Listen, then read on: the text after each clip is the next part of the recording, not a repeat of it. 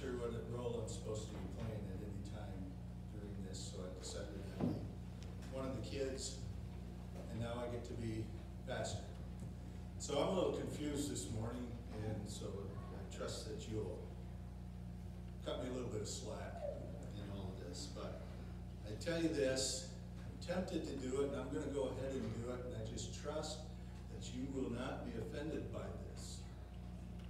I just have to say, woo! Okay. Okay, let's be serious. Um, Why?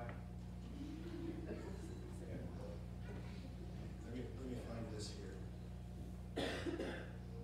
Dearly beloved, we are gathered here today to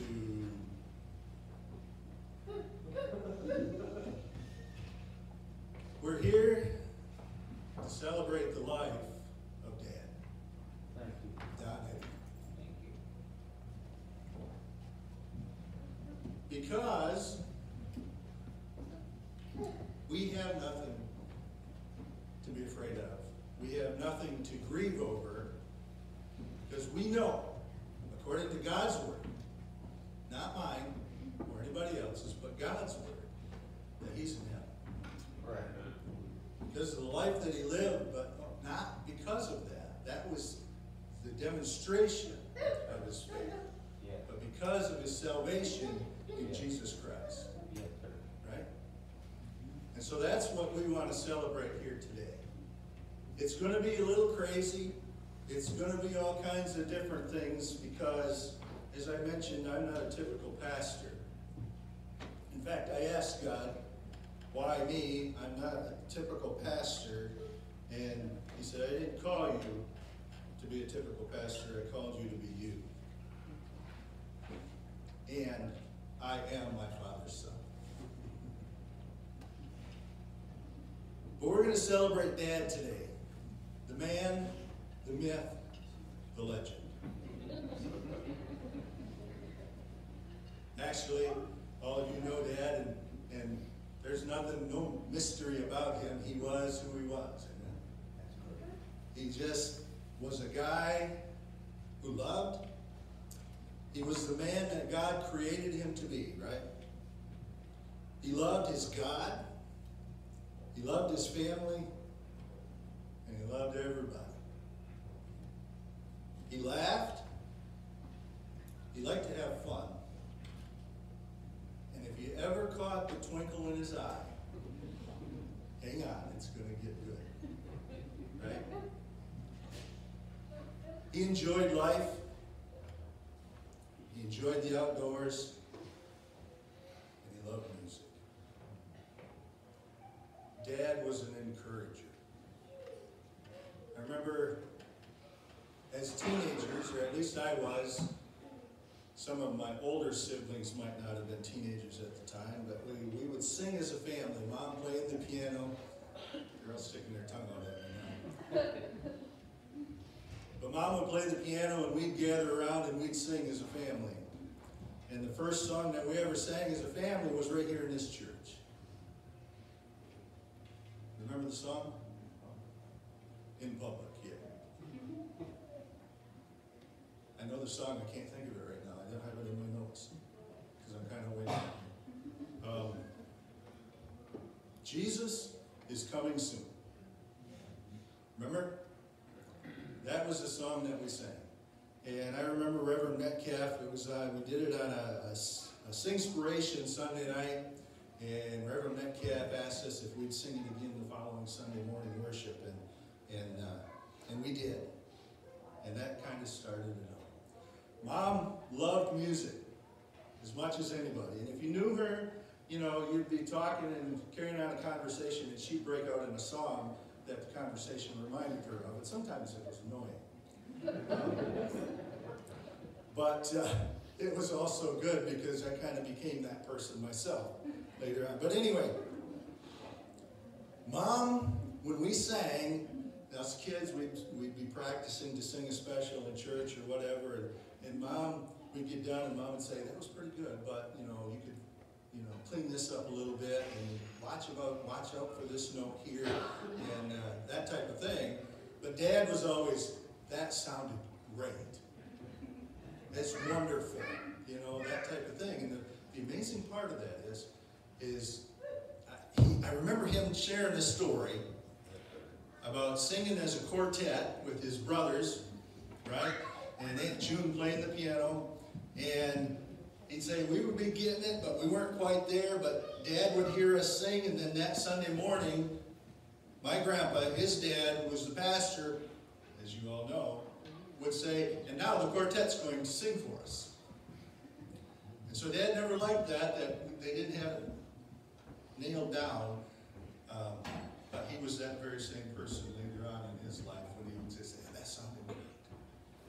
Um, but the thing is, the most important thing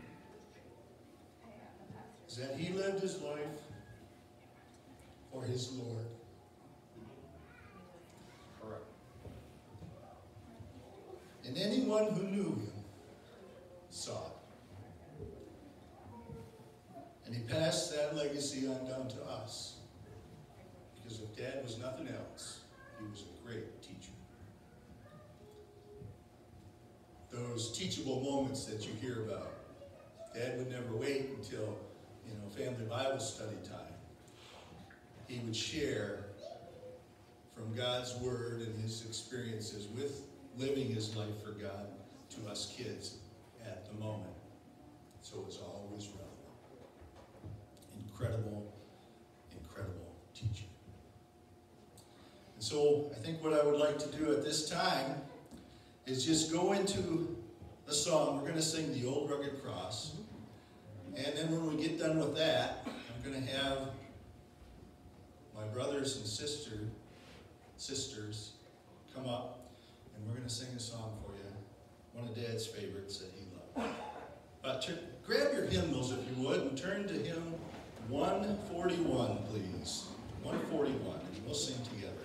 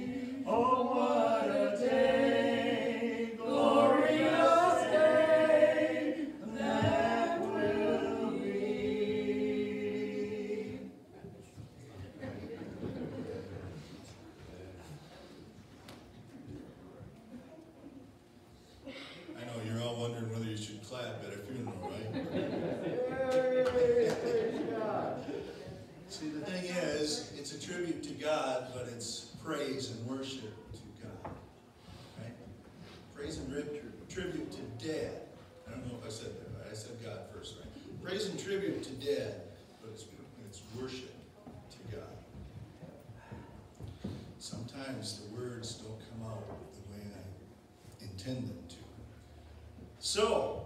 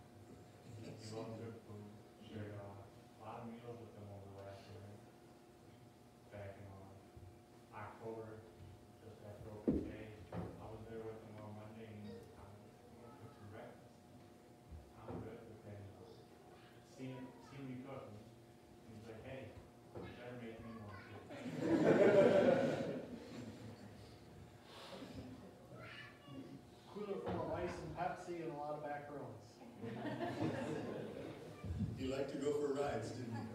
Yeah. I was always amazed how he remembered how to get back home.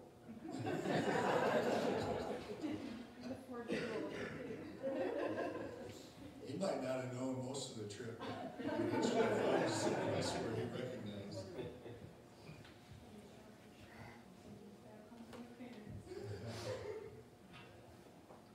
Ed was always one, he wasn't lost as long as he had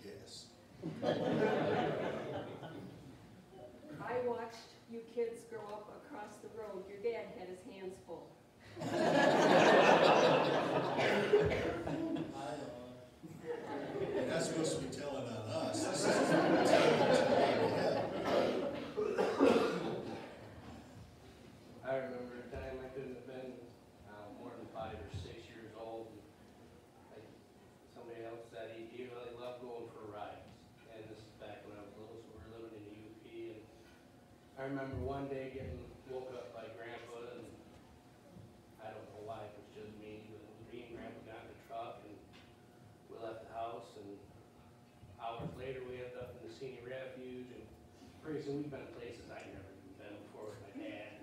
I had no clue where I was and then I remember at one point, he kept looking down at his dash, he kept looking down at his dash. And, uh, he, he went from being smiles and happy-go-lucky and everything to he, he got serious all of a sudden. And, and knowing my dad and, and thought when he gets serious, it changes the mood and, and inside and pretty soon I just asked him, I was just, kid, I didn't know no better. Okay, what's going on? We're having fun now, you're all mad. And he's like, no, I'm not mad. I said, well, what's going on? He says, "Well, I didn't want to tell you this, but we're about out of gas. And I have no idea where the next gas station is. About half hour later, we see this little rinky-dink gas station with a single fuel pump out in the middle of nowhere. And, uh, but he was happy again. He said, whatever you do, do not tell your grandmother or your mother. what. Must be okay now.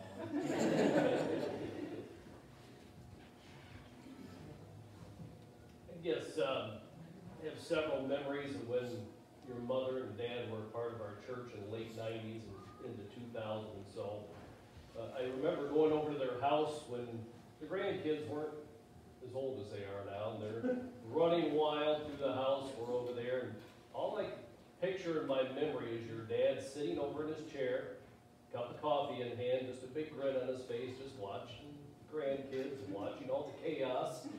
Just very calm demeanor. But you mentioned the twinkle or the gleam in his eye. Right after he bought his new green pickup truck, must have been around two thousand or so, he used to take such joy every time he'd be in the foyer of church, he'd look out the door and see some kids out there, somewhere near the truck. And he would grab his key fob and hit the horn. And he would laugh, and he did it all the time. It was almost a weekly thing. Took such joy out of that. But on a note of encouragement, and he was always great encouragement, as you mentioned, him and your mother both. Um, And one thing I shared with you is that he always made the statement about the life as a Christian and the maturing process. And he always referred to it in a way that we grow in a way that our mountains aren't as high and our valleys aren't as low. It's a steady progression of growth through life, and that's what I think reminds me of him the most, because it wasn't just something he said, but it's the way he lived and his spiritual demeanor. So I really appreciate him just as a person, his sense of humor, his demeanor, uh, but also his influence and in his attitude and his growth in the church as well, and uh, all the times of the influence. So He greatly missed. Anyone else? Mom and Dad had come to UP to uh, visit one time, and for some reason, Dad decided to sleep in the recliner with his, with his uh, sleeping bag. And I heard the dog get up and go across the little floor out the doggy yard, and I heard it coming back. And next thing I know, I hear the dog just scraping and digging and, and trying to get footing on that part, that wooden floor, and then I hear Dad go, He's snickering in his chair. I said, Dad, did you just scare the dog? He says, yep, I did. What were you doing?" He had taken his, he watched the dog coming, and as, as the dog got close to the chair, he picked his feet up with that sleeping bag. And that poor dog about had a heart attack. And so the, my dog had this habit, she always had to have the last word. And once she got her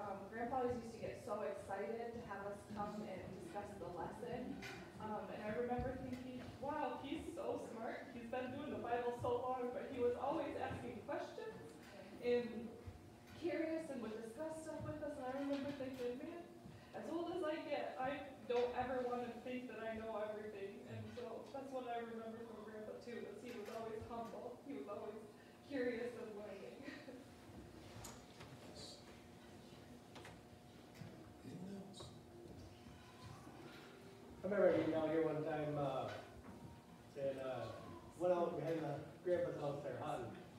And it was like the second or third time I went out. I, you know, Colin didn't get it. And then, uh, but we had a good blood trail this time. We were going and going and going. And this is kind of, my cousins were all in on it too, but that twinkle in his grandpa's eye it was dark, so I don't know, it was pretty, pretty, pretty quickly, I guess. But we're all along, tracking this deer, and then all of a sudden my cousins were like, oh, there he goes! And he took it, and they all took off running. And I took off running, and I was going to step aside, and I run right over and took over that deer that was laying Yeah, real big laugh. That is actually happened. Uh, that was just some of the, some of the good jokes that he always used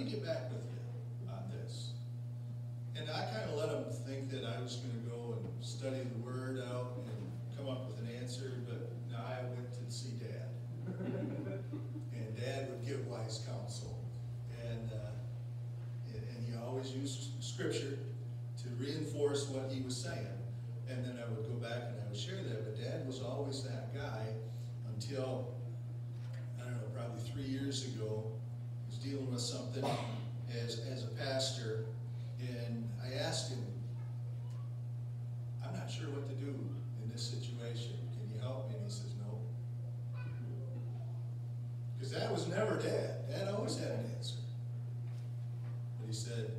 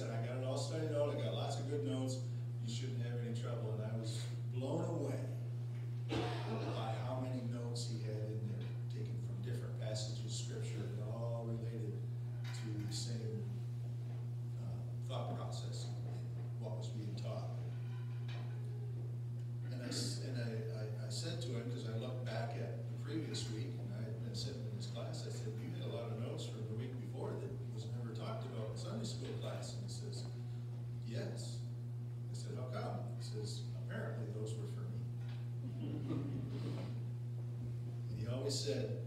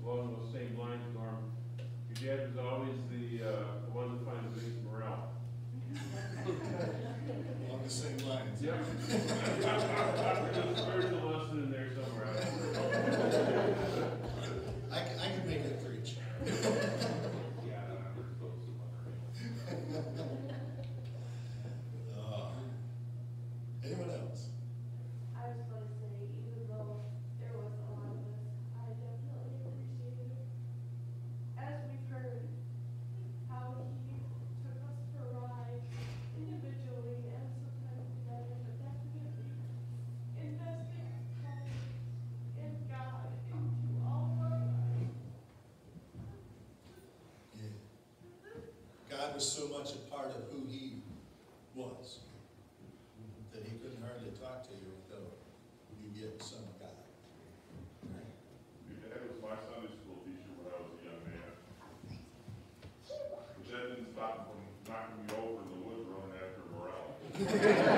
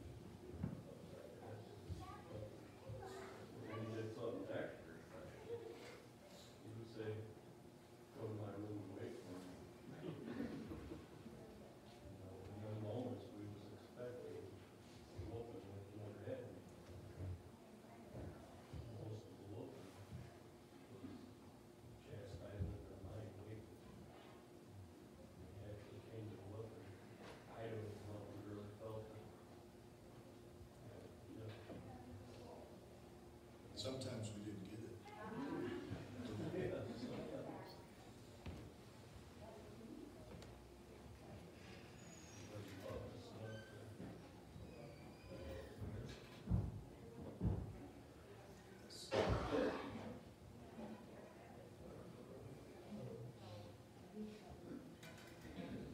I remember, I think I was about sixteen, I don't know for sure, but was on the property there and, and we were cutting down a big old white pine.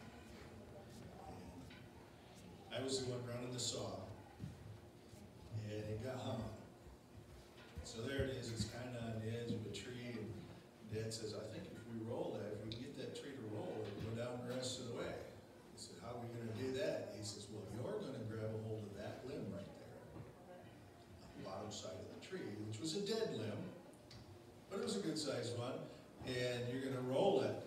He says, but before you do that, mark out a path where you can run, so that it won't get you. I said, okay, well, I'll go right that way. I had it all figured out, I grabbed a hold of that limb and I started rocking that tree.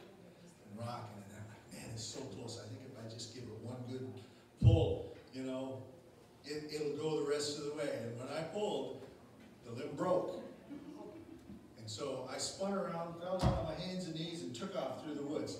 Mind you, I did not follow the path that I had chosen to go down. And all I remember hearing is my dad laughing out loud about as hard as he could laugh. And so then I'm standing over there kind of sheepish, and I said, Well, I didn't want it to fall on me. He says, No, that was a good idea. It was just really funny to watch.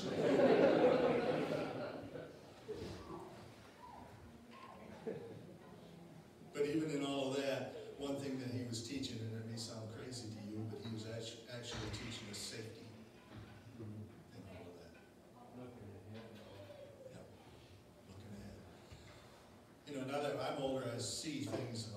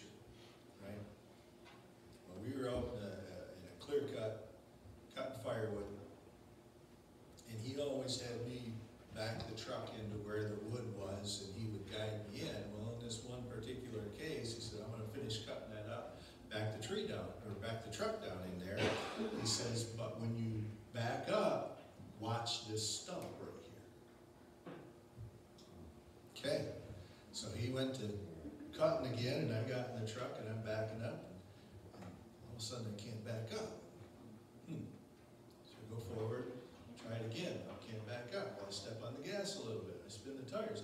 This is a four-wheel drive, mind you. And I can't figure it out, so I get out to look, and that stump that he told me to watch out for, I forgot to watch out for I took the front bumper, and the truck is like this, and that front bumper was sticking out like that. And I'm like, this is not gonna go well when I tell Dad. But I knew I had to tell Dad, he's gonna find out anyway, right? So, anyway, I told him, and he said, I told you to watch out for that stump. I said, I know, I remember now. Yeah, he said, and I, I just said, okay, well, I'm, I'm not gonna drive the truck anymore. And you, I was probably thirteen at the time.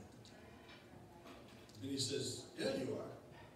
He says, jump in there and run that bumper and we're gonna push it up against this stump and we're gonna straighten it back up. I'm like, Dad, I don't want to. He says, but you're going to. And I did, and I got in there and straightened it back out, and he says, not bad, you can hardly tell. But that was one of those things. And he chewed me out, I, I probably neglected to tell you that, he chewed me out a little more than what I shared, but I never forgot that. And it was a moment, the thing is, once it was done, it was done. Fixed the problem, and we went on doing the thing, and, and I, he still trusted me to drive his truck, so. Those moments, those teachable moments, right? Anybody else?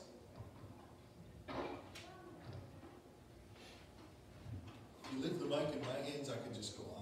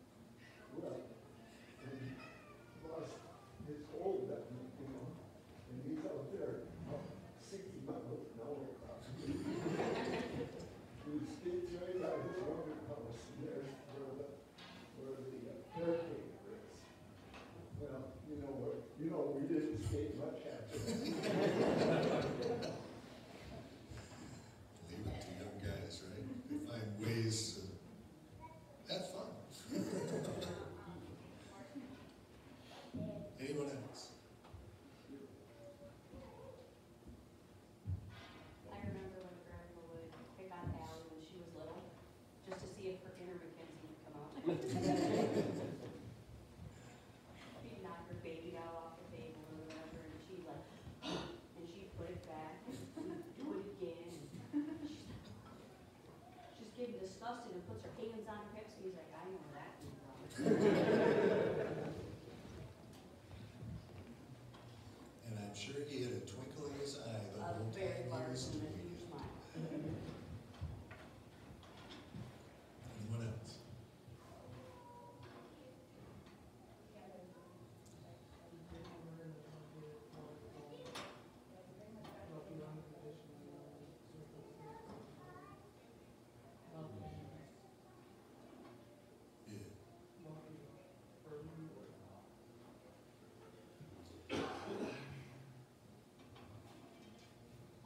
Garner?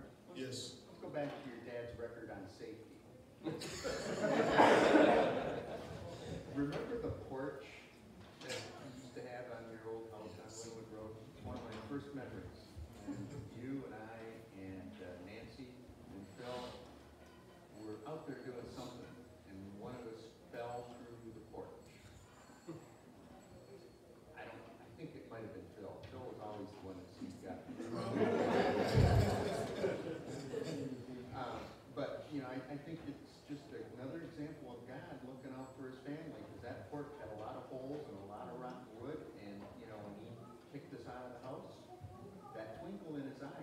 get out. For your safety and his peace of mind.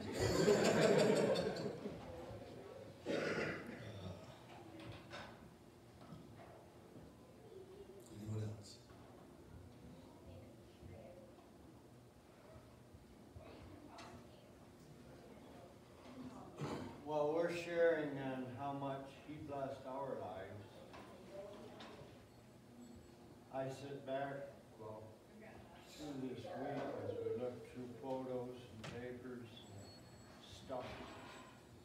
And in this open session of sharing. When you see them in photos, just sitting back there watching, we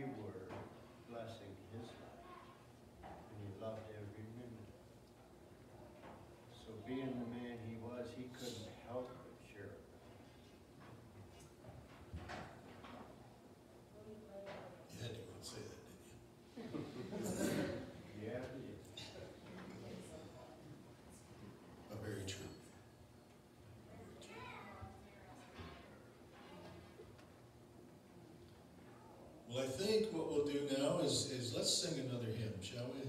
Let's sing How Great Thou Art. Number five.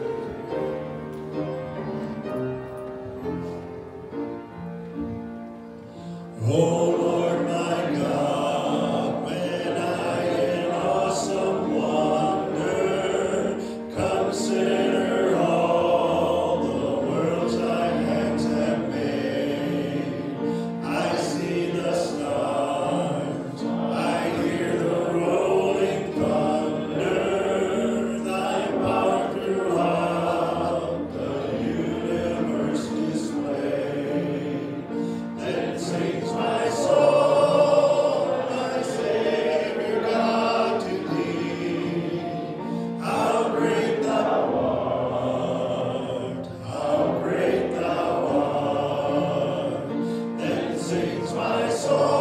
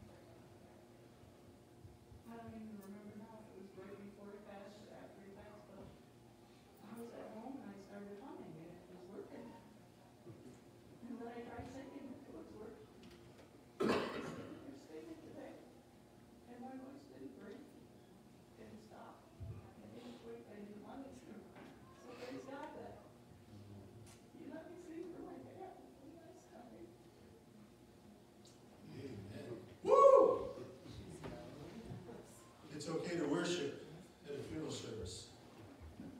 Even if you didn't think so before, I'm giving you permission to worship.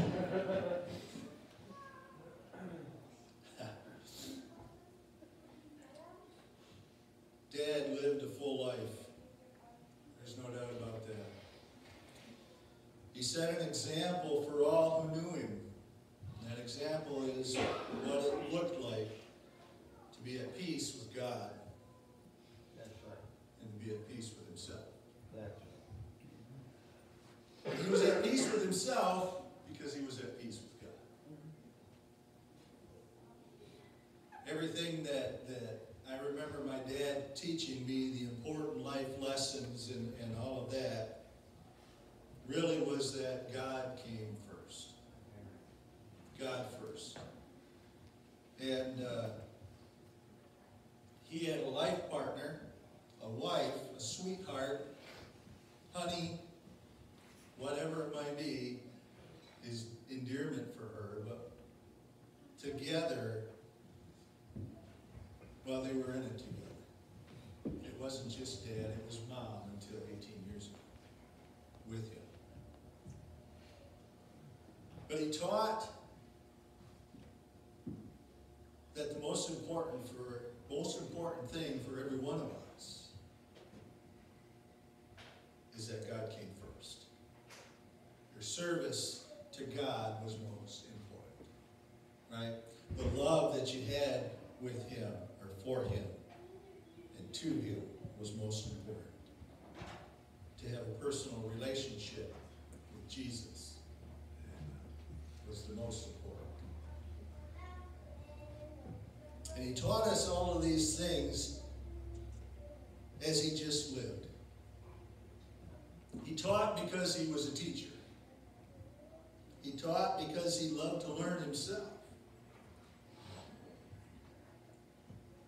And I find myself, even now, as I'm sitting down and, and studying to prepare for a service here at the church, and, and, and if you ask anyone from the congregation that's been here any length of time, they'll tell you that Pastor gets excited about things he learns in the Bible. I, you know, and I've been studying God's Word for a long time now. And there's still new stuff in there. I, you know, it's, I'd be reading along and it's like, what? I know I've read this, who knows, 100 times, 200 times, I don't know how many times, lots of times before, and I never seen that. Or I never understood that. And that excites me. I love to learn. I just don't like school. Can anybody relate? Dad loved to learn. And, uh, and, and he was constantly sharing the things that he learned with really anybody who listened, right? Especially when it came to scripture and what God had showed him in his life and in his experience. God first, and everything else fell in line because God was first. in his life. And the question that I was asking myself this week is how do we have a life like Dad's? How do we have a life that is devoted to God? And it's pretty simple. It really is. And I was taken to God's Word in Romans chapter 10, verses 9 and 10. It says that if you confess with your mouth Jesus is Lord, and believe in your heart that God raised him from the dead, you will be saved. For it is with your heart that you believe and are justified, and it is with your mouth that you confess and are saved. It's pretty simple. But I find so many times in our society today that we, we just say, well, if I just say, yeah, I believe in Jesus. And, and if I ask for forgiveness and I just say, you know, God, I'm sorry for that, that's good enough. But what we have to remember is that man sees on the outside, God sees the heart. And if our heart isn't real, if our heart isn't changed, then we do not have the salvation that is promised us. That's where that personal relationship with Jesus. Do you love Jesus? A lot of people will say yes. Yeah, I love Jesus. Jesus said, if you love me, you will obey me. If we love Jesus, we have to keep his commands. And I'm sharing this morning, and this is not going to be a long sermon. And I know that looking out here, probably most of you will know all this already. But I would be remiss if I didn't share the gospel message. Because so much who Dad was. And that is so much who, I who I've become. Partly because of his example. The hope that we have is not just in being saved, or not just that Jesus died on the cross and paid the price for our sins, but the hope that we have is found in the resurrection Jesus. Right? If Jesus was buried, he'd be just like any other human being, right? If he stayed buried. But he didn't. He was raised from the dead by God the Father. Amen? To fulfill the prophecy, to fulfill the plan, to finish, well, not finish because it's not done yet, the plan that God had for every one of us. That we too, one day, may have the hope, that we have the hope that one day we can experience what Dad has been experiencing for almost a week. Well, for a week. Present with Jesus. Right? The scripture tells us that to be absent from the body is to be present with the Lord. And I thank God for that. And to go along with that, then I see in, in, in 1 Corinthians chapter 15. If I get there, I'll read it to you. I haven't marked it, just my fingers beginning with verse 51. Listen.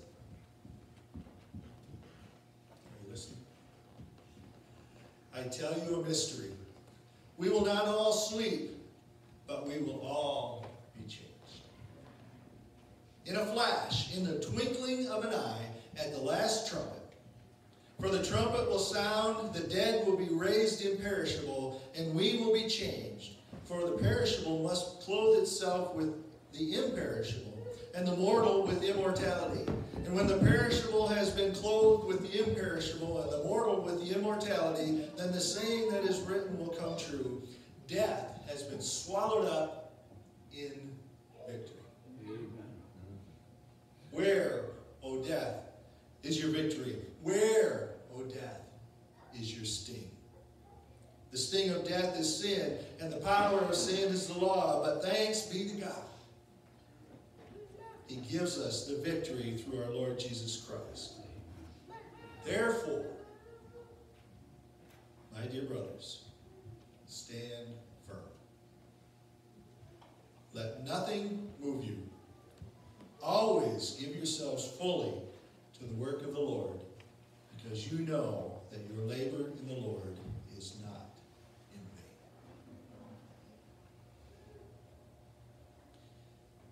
The hope that we have becomes confidence. Not hope as in wishing something will happen, but the confidence that comes with life experience and how the Holy Spirit speaks to us in our daily lives. It becomes confidence, and that confidence is that we have victory. Not in our own doing, but in what Jesus has already done. Amen. And so not only do we have the hope of a future in heaven, but we have hope of God's blessings in our lives every day. How do you have a life like Dad's? Trust God. Have a close personal relationship with Jesus. Live in a manner that is pleasing to Him. And if you're you're not sure, then you need to talk there's any question, if there's any doubt, you need to clear it up with God. Death and the grave have no hold on us as children of God.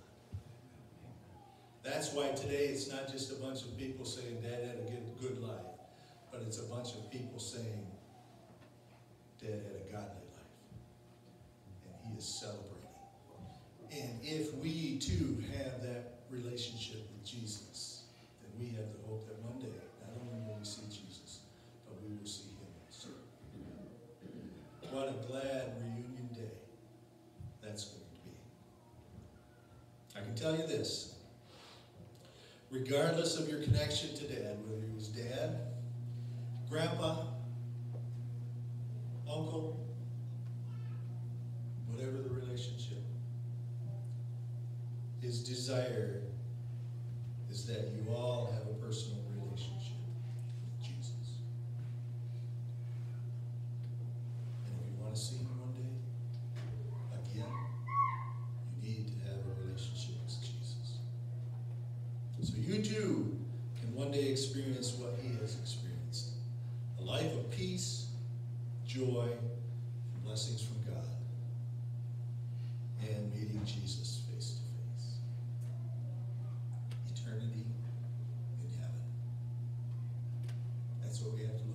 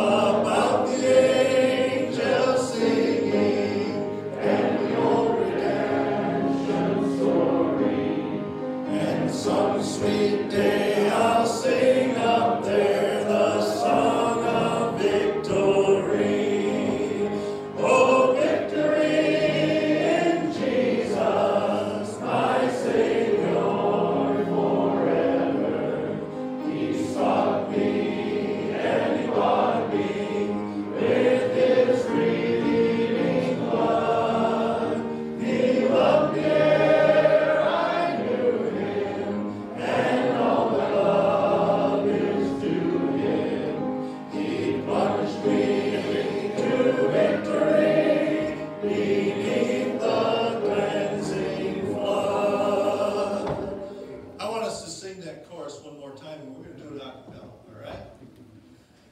Oh, victory